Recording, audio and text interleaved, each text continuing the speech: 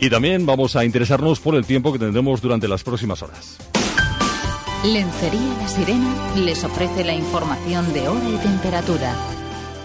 Bueno, y los viernes, ese pronóstico del tiempo y ese análisis de lo que ha pasado durante la semana nos lo ofrece nuestro hombre del tiempo, José Calvo. ¿Qué tal? ¿Cómo estás? Buenos días.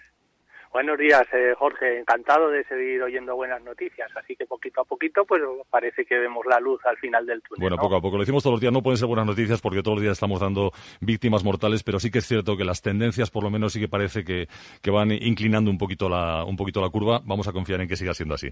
Bueno, ¿qué podemos contar del tiempo de, de esta semana? Muy primaveral, ¿no? Otra vez. Sí, sí, estamos inmersos en un mes de abril que hace honor al refrán de en abril aguas mil, porque está siendo un mes de, abril muy lluvioso. Las precipitaciones en, en los primeros 15 días del mes han sido superiores a lo que suele ser habitual en esta época del año. De hecho, ya se han alcanzado las cifras de, lo que sería normal en un mes entero. Así que seguimos inverso en estas bajas presiones, en estos chubascos, en estas lluvias que están dejando un mes de abril primaveral y húmedo con temperaturas muy suaves. Sí. Yo fíjate, el otro día comentaba un compañero en la redacción que creía que había llovido todos los días de abril. No sé si todos, pero la inmensa mayoría, ¿no?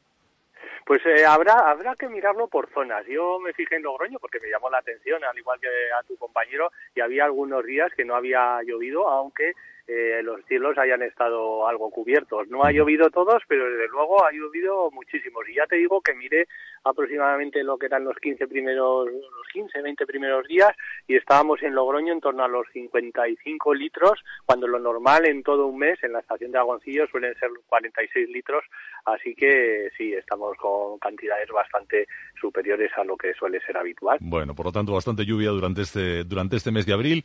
¿Y qué panorama tenemos por delante, José? Estamos viernes, ¿qué va a pasar durante el fin de semana y durante la próxima semana hasta donde se pueda ver?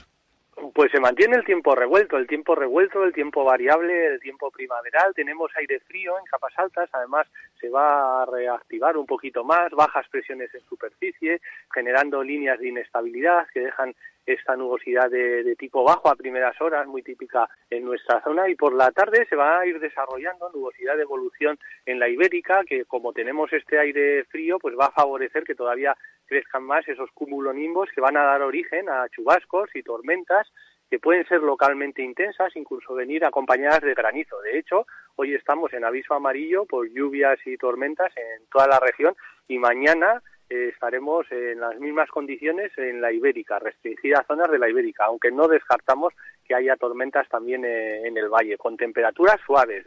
Eh, las máximas van a rondar los 20 22 grados en zonas del valle, así que ambiente suave, ambiente primaveral, ambiente revuelto y, te, y habrá que tener en cuenta estas tormentas. ¿Se ve estabilidad a corto plazo? No, se mantiene el tiempo revuelto. Se, sí, la semana que viene que, también. Sí, para la, semana, para la semana que viene también tiene aspecto de revuelto. Habrá días que role un poquito el viento al noroeste con ese cierzo que hará refrescar un poco el ambiente, pero el ambiente, ya te digo, que se mantiene revuelto, variable, primaveral y, y seguiremos viendo llover. Bueno, pues, así que buenas noticias porque además esta nubosidad no nos hace echar tanto de, en falta la calle, ¿no? Bueno, vamos a esperar que por lo menos la lluvia respete esos paseos de los niños que se van a producir a partir de, del próximo domingo, ¿no? Bueno, yo creo que van a estar encantados hasta de mojarse.